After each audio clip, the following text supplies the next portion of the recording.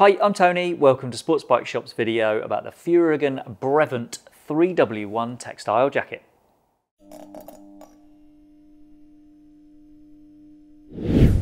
Furygan's Brevent textile jacket gets the second bit of its title, the 3W1 bit, because this is a three-in-one jacket. The waterproof membrane and the thermal liner can both be taken out, which gives you three potential configurations for the jacket. You can have both liners in for cold days, you can have just the waterproof liner in for wet, warm days, and you can take both liners out for warm and dry days, hence 3W1 or 3M1. So let's run through the key info and the details and also let you know our verdict on it. The outer shell is made from tough polyester with some stronger reinforcement overlays here at the shoulders and also at the elbows. It's tough enough to get an overall CE rating to the double A level, which is the middle of the three levels available. The jacket fastens with a large zip up the front and there's a storm flap behind it. And then if you're using the waterproof liner, you need to zip that up separately on the inside. There's no flap over the top of the zip on this jacket, which isn't the best for keeping out rain, but it does mean you don't have to faff about fastening another flap over the top of the zip. The collar on this jacket is really simple. It just fastens with Velcro and you can also hook it back out of the way if that's what you want to do. The cuffs are also really simple. There's a zip with a Velcro flap across the top and the zip's a two-way thing. So you can leave the bottom closed, pull it down from the top and open up a vent on the lower arm. What I will say is this has to be one of the slimmest cuffs of any jacket I've ever worn and I've worn a lot of jackets.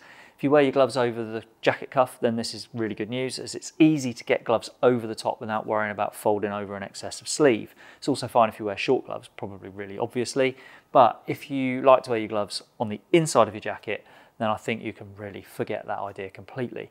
I asked Furygan about that, and they say that riders in France, which is where Furygan are based, all wear their gloves over their jacket, which explains why they've made it work that way.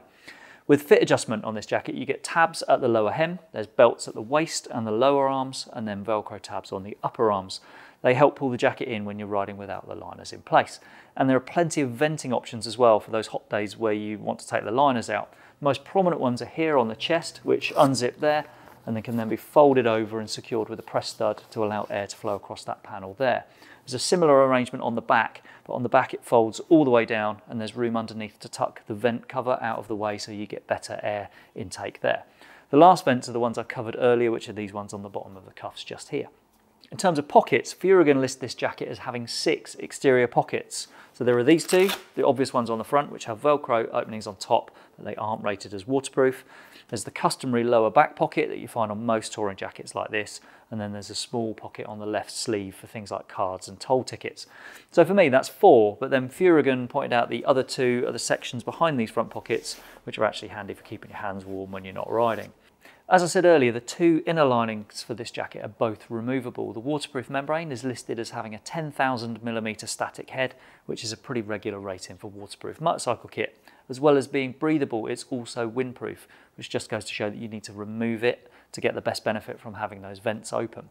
Now, I've not worn this jacket myself in the rain, but one of our regular reviewers took this one away on a tour in Southern Europe, and he ended up riding in quite a lot of heavy rain. For spells of up to two hours or so of wet weather on the continent, he said this jacket kept him perfectly dry. But when he got back to Britain and then had a five hour ride through really heavy rain, this jacket was unable to cope and it did get through to his skin. If you want to, you can read David's full review by following the link in the description below. This jacket has a full sleeve thermal liner as well as that waterproof membrane and I did get the chance to use this one in cold weather. I rode with a base layer, a t-shirt and then this jacket with both layers inside it and I found it kept me perfectly warm in temperatures of around 10 degrees Celsius. There's shoulder and elbow armour included with the jacket which is soft and comfortable D3O armour that meets the basic level 1 of the CE standard for impact protection. There's a pocket for a back protector but you need to buy the protector itself separately as we record this, a CE Level 2 back protector insert for this jacket costs £41. As I said earlier, the overall CE rating for this jacket is bang in the middle of the three levels. It's AA. In terms of pockets on the inside, there's a waterproof Napoleon pocket just behind the main zip, and you've got access to that in any configuration you wear the jacket in. And then on top of that, there are two additional pockets in the thermal liner if you're riding with that in place. For connecting it to riding trousers, there's just a short connection zip. There are no specific matching trousers for this jacket. Furygan suggests pairing it with their Apalaches, which have a fixed waterproof membrane. So personally, I'd say that's not really the ideal combination. Furygan have got a new pair of trousers coming soon called the Apalaches Vented, where the thermal liner and waterproof membrane are combined and can come out to leave just the textile outer trousers. Again, they're not an exact match to this jacket spec, but I would say it's closer than having trousers with a fixed liner. They're going to cost around £200 a pair, and that would come on top of the £269.99 price of this jacket. In current pricing, that's actually not bad for a jacket with a removable waterproof membrane. And overall, I've found this to be a decent jacket. I have to admit that it's not really got the hefty weather protection you'll want if you're riding in the worst weather at all times of the year. But if you're after something with the flexibility to cover summer and reasonable periods of ropey weather when you need it to do that, the Brevent isn't at all a bad option. Now, one other thing that I think we've really got to cover is this colour. It's very, very distinctive. Furygan describe it as brown sand and anthracite. In the time that I've been wearing it, it's been called a few other things by people who've seen it, including one that definitely rhymes with the last syllable in anthracite.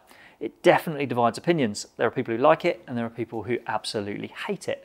Thankfully, there are other options, including a new plain black option that Furygan have very sensibly decided to add to their 2023 collection.